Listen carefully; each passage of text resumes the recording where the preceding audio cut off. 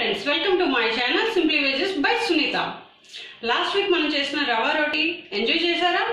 లేదంటే నా channel subscribe చేయండి వీడియోస్ లైక్ చేయండి. ఇవాళ మనం చేయబోయే item masala bread toast masala bread toast కావాల్సిన ఐటమ్స్ టూ స్పూన్స్ ఆయిల్ చిన్నగా కట్ చేసిన క్యాప్సికమ్ తురుమిన క్యారెట్ చిన్నగా కట్ చేసిన ఉల్లిపాయ ముక్కలు ఫోర్ స్పూన్స్ బటర్ కొంచెం కారం చిన్నగా కట్ చేసిన కరివేపాకు కొంచెం కొత్తిమీర half spoon chaat masala half spoon జీలకర్ర పౌడర్ రుచికి సరిపడా salt half spoon garam masala breads.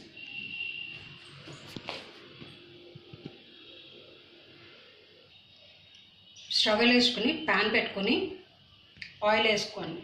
ఇప్పుడు మనం బ్రెడ్ టోస్ట్ కావాల్సిన వెజిటబుల్ మిక్స్ ప్రిపేర్ చేస్తున్నాం. ఆయిల్ హీట్ అయిన తర్వాత ఆయిల్ హీట్ అయిన తర్వాత ఆనియన్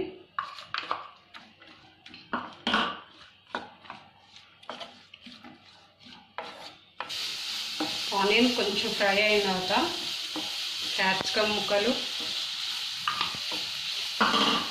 క్యారెట్ తురుము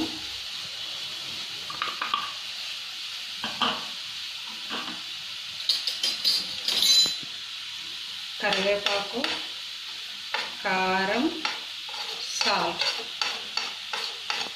మూడు వేసి కలిపేసి మూత పెట్టేసేయండి. ఉప్పు కారం వేసిన తర్వాత మూత పెట్టేసి ఒక టెన్ ఫిఫ్టీన్ మినిట్స్ క్లోజ్ చేసి పెట్టండి. వెజిటబుల్స్ ఫ్రై అయినేమో చూద్దాం. ఇవ్వండి కొంచెం మగ్గని. ఇప్పుడు ఒక్కసారి కలుపుకొని ఇందులో జీలకర్ర పౌడర్ చాట్ మసాలా గరం మసాలా కొత్తిమీర వేసి అన్నిటినీ ఒకసారి కలపండి. అన్నిటినీ ఒక్కసారి కలిపి ఒక two spoons only two spoons water అయ్యింది వేసి ఒక్కసారి మళ్ళీ కలపండి. కలిపి ఉప్పు కారం మీ రుచికి సరిపడా చూసుకుని స్టవ్ కట్టేసేయండి. ఇప్పుడు మసాలా బ్రెడ్ టోస్ట్ ఎలా ప్రిపేర్ చేయాలో చూపిస్తాను. స్టవ్ వెలిగించుకుని ప్యాన్ పెట్టండి. ప్యాన్ పెట్టుకొని ప్యాన్ హీట్ అయిన తర్వాత బ్రెడ్ పెట్టండి. బ్రెడ్కి బటర్ రాయండి. వన్ సైడ్ రాసిన తర్వాత సెకండ్ సైడ్ సెకండ్ సైడ్ కూడా టర్న్ చేయండి.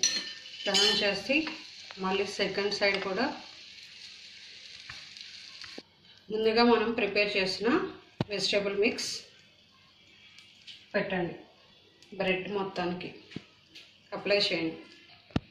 ఇంకో బ్రెడ్ తీసుకుని ఆ బ్రెడ్కి కూడా బటర్ అప్లై చేయండి.